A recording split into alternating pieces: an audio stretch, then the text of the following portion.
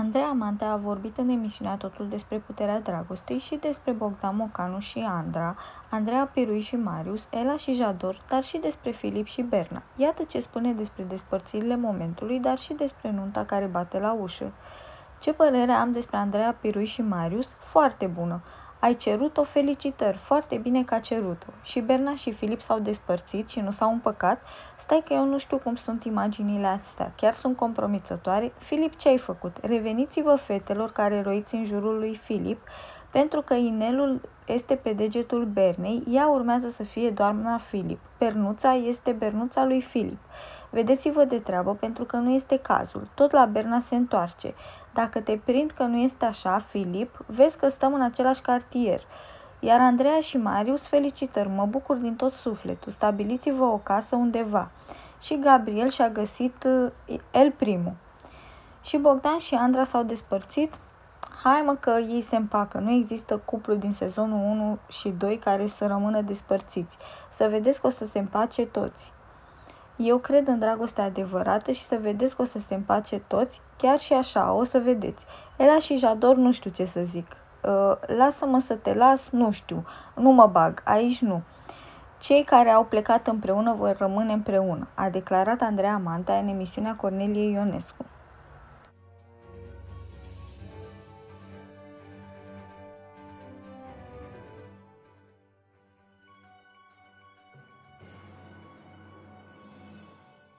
Bianca Comănici a publicat un mesaj cu subînțeles la scurt timp după scandalul cu Livian.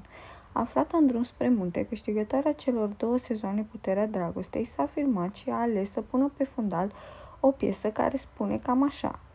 Te voi iubi la infinit. Fanii Brunetei s-au dus imediat cu gândul că ar fi un mesaj cu subînțeles pentru Livian, fostul ei iubit pe care încă nu l-ar fi uitat.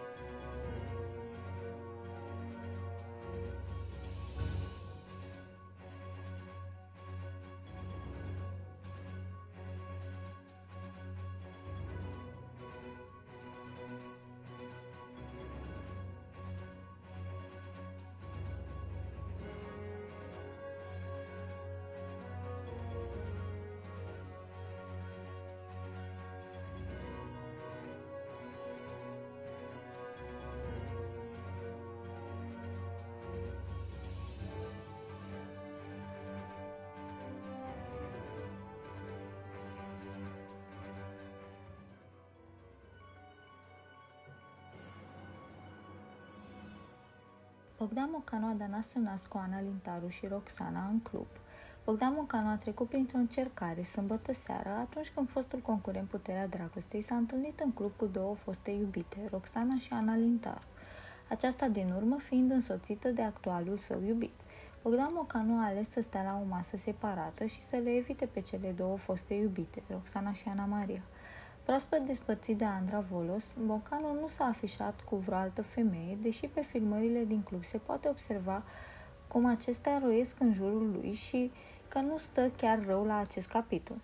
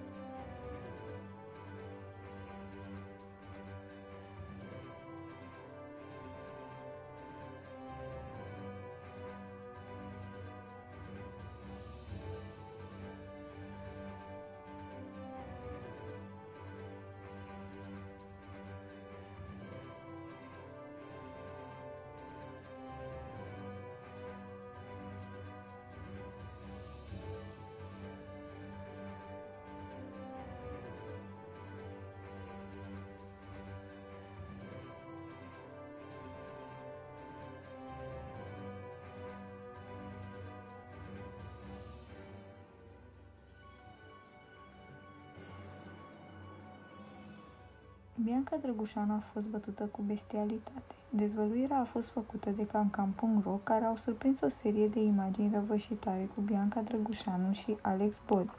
Astfel, potrivit reporterilor, blondina ar fi fost bătută cu bestialitate de către Bodi. În clipul postat pe site-ul cancam.ro, Bianca apare total revășită, într-o suferință fizică cumplită. Pentru a intra în casa din Pipera, aceasta a avut nevoie de susținerea lui Alex Body, deplasându-se cu greutate. De asemenea, pe chipul Bianca se putea observa o vânătaie serioasă. Se pare că Bianca Drăgușane ar fi fost supusă unor violențe greu de imaginat, fiind agresată timp de 5 ore. Deși în urmă cu numai o săptămână cei doi posau un cuplul perfect, chiar la aniversarea micuței Sofia, se pare că lucrurile sunt total diferite în realitate. Rămâne de văzut ce va dezvălui Bianca în cadrul intervenției pe care a anunțat-o astăzi pe Instagram.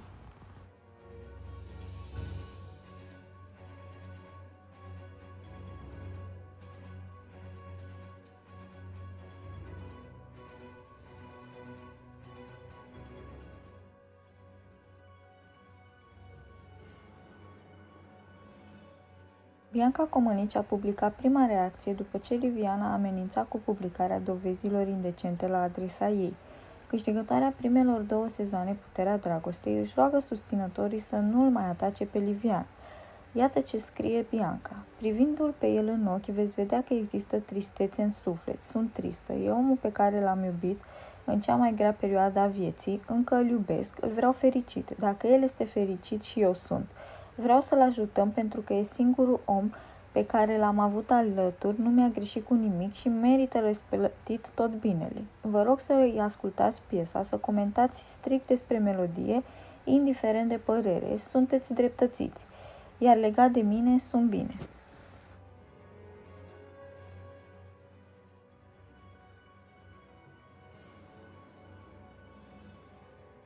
Liviana a ieșit la atac după ce, spune el, a fost atacat constant de către fanii Bianca Comănici, fosta lui iubit. Câștigătorul Puterea Dragostei sezon 2 spune că nu mai poate suporta atacurile, că a ajuns la capătul puterilor și a lăsat mult prea mult de la el. Iată ce a declarat Livian în cel mai recent vlog. Timp de o lună am tot lăsat de la mine. Am lăsat, am lăsat, nu se mai poate. Am vrut să fie bine, o să lansez nucleara. S-a ajuns la un nivel mult prea sus, când eu voiam să se termine tot. De ce am ochii așa? Pentru că pe cine nu lasă moară nu te lasă să trăiești. E ciudat pentru că eu nu sunt lăsat să mor și nu o să, mai, nu o să mai las nicio pe ea să trăiască. De o lună de zile am fost tras într-un joc la care eu nu voiam să fac parte. Eram tras într-un joc unde trei săptămâni se vorbea despre mine, îmi era rostit numele. Trei săptămâni am fost asediat, eu, iubita, familia, eu am tăcut și am dus. Am lăsat-o, n-am fost curios. Ei bine, am stat și m-am gândit și s-a întâmplat ceva ce mi-a indus ideea că s-a ajuns mult prea departe. Tupeul este mizerabil ținând cont de câte am făcut. Cu toții v-ați întrebat de ce nu răspund. Am făcut un vlog în care am zis un, cu un sfert de gură pentru cei care înțeleg.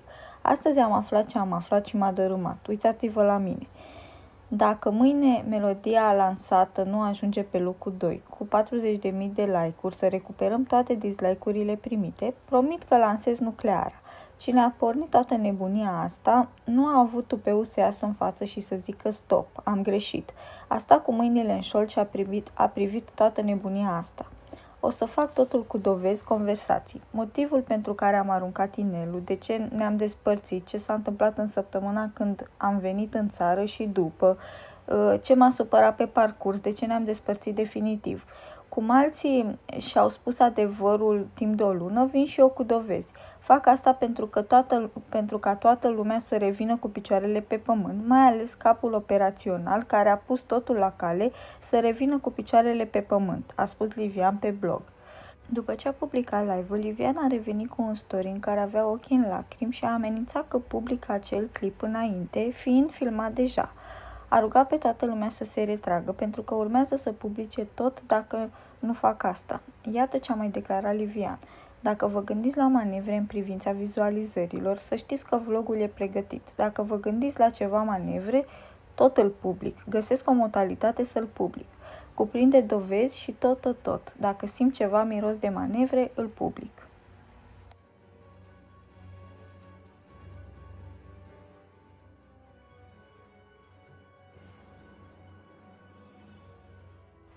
Invitații de la un majorat au fost martorii unor imagini incredibile. Stripperul angajat pentru sărbătorita serii le-a nebunit pe fete, dezbrăcându-se și dansându-le în brațe. Una dintre tinere s-a lăsat purtată de val și, fără să gândească prea mult la ceea ce face, a trecut la fapte. Sub privirile și aplauzele invitaților, ea a făcut sex oral stripperului pentru câteva secunde, bărbatul încercând să cenzureze scena cu un prosop. Câteva imagini au fost postate pe internet de unul dintre participanții la petrecere, iar cadrele au devenit virale, oamenii fiind șocați de evenimentele petrecute la majorat.